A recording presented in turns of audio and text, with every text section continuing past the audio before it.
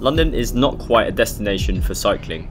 For the most part, you become a professional traffic dodger, filtering through busy main roads, and if you'd like to just enjoy a bike ride within the city, there really aren't many places to do so.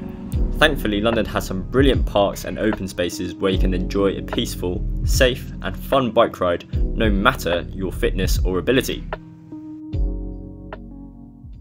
Introducing the Richmond Park National Obstacle Course. Recently, the Royal Parks has put up some absolutely brilliant next generation cutting edge infrastructure to make your bike ride not only more fun, but mentally more stimulating.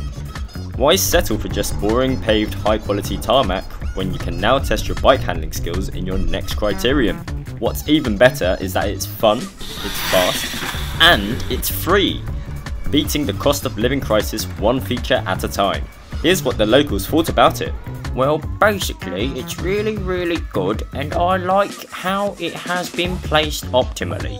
The perfect balance allowing me to really level up my bike handling skills.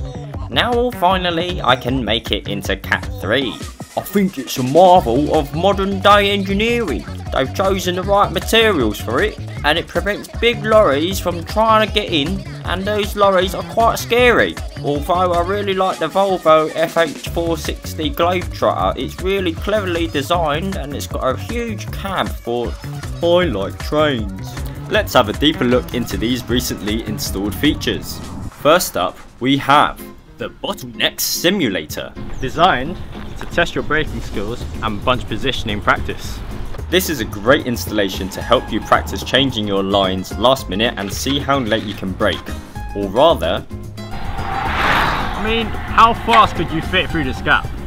Perfectly positioned right at the bottom of the longest and steepest hill in Richmond Park, where you'll easily rack up speeds in excess of 50 to 60 kilometers an hour without pedaling to give you the most gravitational potential energy straight into it, you'll be glad to hear that it has been built with the finest, splinterless and softest wood with smoothed out corners for extra padding. So if anything does go wrong, all is good. Plus you'll have superb visibility into the mini roundabout right at the exit.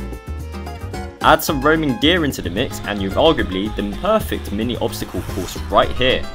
Enjoy! Oh more dear, Calvin, look.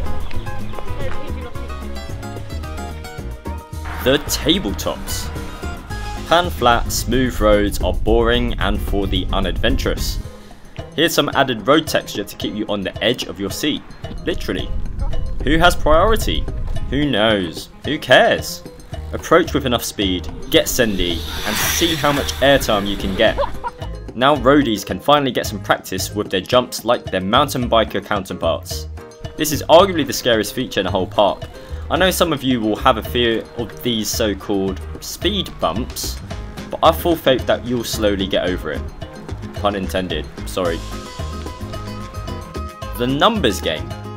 Is it 10 or 20? 10 or 20? Or 10? Or 20?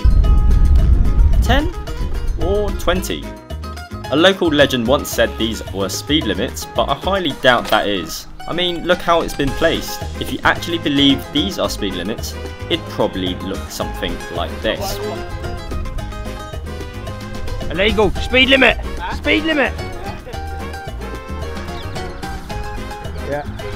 Yeah. That's illegal. That's illegal. That's illegal. Yeah, yeah, yeah, yeah, yeah, yeah. Illegal. Well, in any case, if something does happen and you're pulled over for speeding, all you gotta do is just dispose of your speed telling device. Sorted.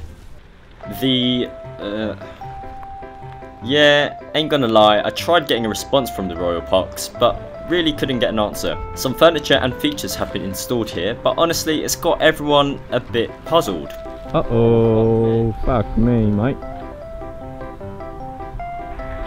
Okay. Oh, shit, mate.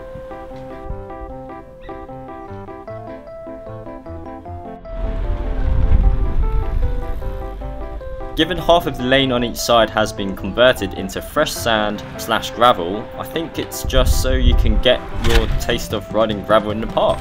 Very on trend I see. Or maybe you could use it as a makeshift bike hanger after climbing up the hill. Or perhaps if you're feeling a bit of shade on a warm day, this would be ideal. the magic wands.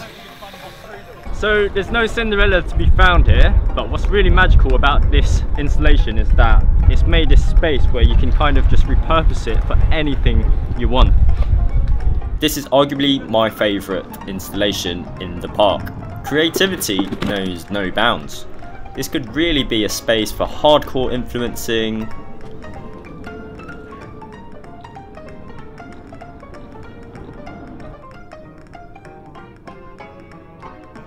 a path for fellow pedestrians that leads to precisely nowhere.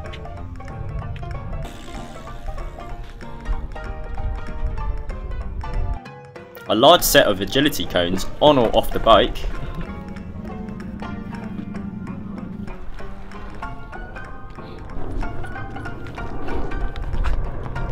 Doing whatever you call this, or even for some mid-ride kickboxing practice. What a thoughtful and practical feature. Really good to know the Royal Parks caters to a diverse range of interests.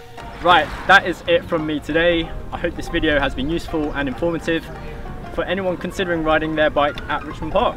See you in the next video.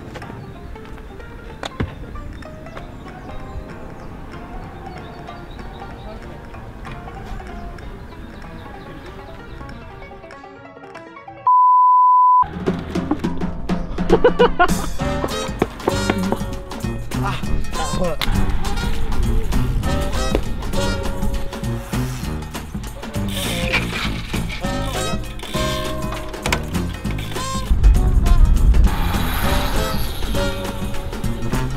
there you go.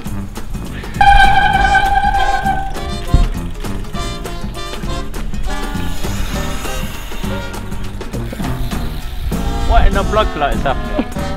Anyone considering riding their bike in Regent's Park. Ah, oh, man.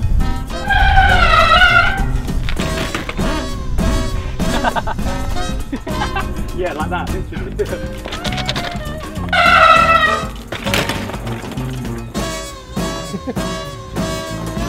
Get it? you can't laugh. I fucking laughed. Oh my days, good. I've done it again.